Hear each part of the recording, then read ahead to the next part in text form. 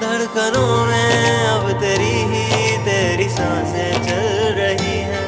मेरी महफिल में तुम्हारी ही तो बातें हो रही है।